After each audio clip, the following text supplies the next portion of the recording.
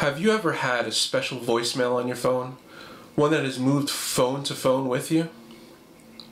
Wouldn't it be nice to have that memory right on your computer? Join me as we show you just how to do that.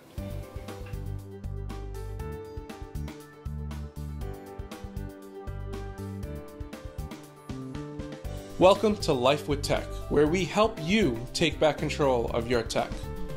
My name's Thomas, and let's dive right in. Okay, guys, we're going to head over to the iExplorer webpage, which is macroplant.com. Once there, we're going to go ahead and hit the Downloads tab up top, and we'll see all the apps. We want the iExplorer 3. Uh, we're going to go ahead and download the, the trial for right now. We're on the Mac, so we're going to grab the Mac version. Hit that download button and it should automatically start downloading to your downloads right here. We're gonna open up that location. I do have two in here because I did this once. So let's go ahead, delete one, and we'll double click on the other one to open up the DMG file. Okay, once it's open, we're gonna you know just drag and drop it right to your applications folder. Close the rest of this. Okay, now we could just do a quick spotlight search.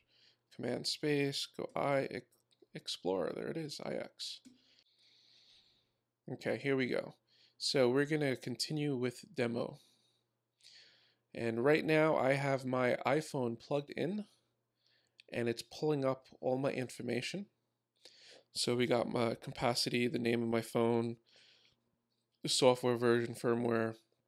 Okay, so Okay, what we're looking to do is make a backup of a voicemail.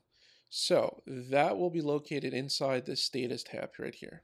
So we click on data, we'll have a bunch of more options in here. So here's the voicemail option. We're going to click on that. And you'll notice it says um, I have no backups on this computer. Um, I back up everything to the cloud. This way I always have it there to iCloud. Um, but this is going to not pull it from your phone, but pull it from a backup.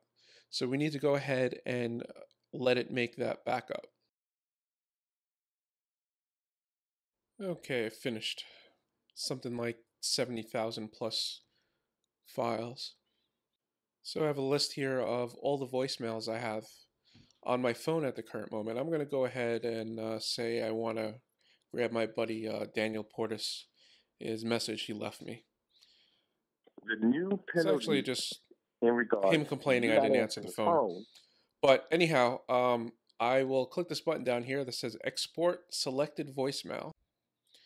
Okay, so now it's going to ask me where I want to save the file. I'm just going to choose my desktop. And it's officially exported. So here we have the file right here. And if we go ahead and play it. The new penalty in regards to you not answering the phone. Uh, works fine. So we successful, successfully exported a voicemail from our phone to our desktop.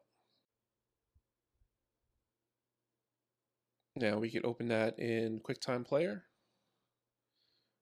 We can play the it there. new penalty. Now that we have it open to QuickTime, we could go to File, Export, and export audio only and this will convert it to an M4A file.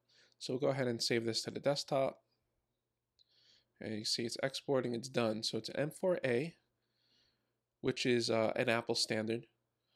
Um, and pretty much you could open it in in any other file. So we could do it, we could open it in iTunes or you know, we could auto open it up in Audacity uh, there's our file there. So we can open it here and then we could go and um, export it to an MP3 or whatever other file format you want uh, once we got it in the M4A format. But M4A should be perfect for anyone who's uh, who's running a Mac. So again, once this pops open, we can see the format here. So we could, you know, we could change it to an MP3 or a WAV uh, once we have it in that format. Save changes? No. Um, so I hope I hope that helps some of you guys. Uh, leave a comment down below. Um, this isn't the only way to do it, but just about every way of doing this actually looks at your backup file and pulls it from your backup file. Uh, this is the easiest way. It does cost a couple of dollars. Um, iExplorer, they have a demo. They'll let you get to the point of actually exporting it, um, and that's where they'll stop you. Um, it would have been nice if they let you do, you know, one or two exports for free. iExplorer is not that much. Let me. So iExplorer is running at $34.99, so $35 for an app. So if you really need an easy way of getting a voicemail off your phone, this this will do it. Um, hopefully that'll help some of you guys out there. Um, there are a lot of other cool features I'm not going to go into that much on my phone, but you could pull call history or photos, or um, it's a nice tool to have. It's not, this isn't the only thing you could do with it. You could do a lot more with it, but it is one of the easiest ways of getting voicemail off your phone. Um, again, there's some other ways with some terminal commands um, that could save you to 30 bucks, but um, this is definitely the easiest way. All right, guys, till next time, take care.